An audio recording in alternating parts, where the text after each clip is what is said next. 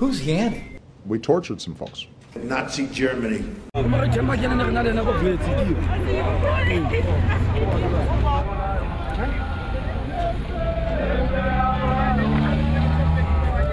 Okay, Obama is a terrorist first. Obama is, is uh, supporting terrorism in Syria. We don't support terrorism while he, he, he, he, he, he, he Now, the challenge for us as the federal government is, is that we don't run these police forces. I can't federalize every police force in the country and force them to retrain.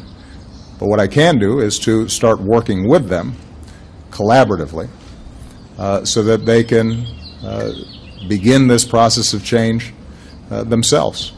Just as I promised, we are allowing our local police to access surplus military equipment, something the previous administration, for some reason, refused to do.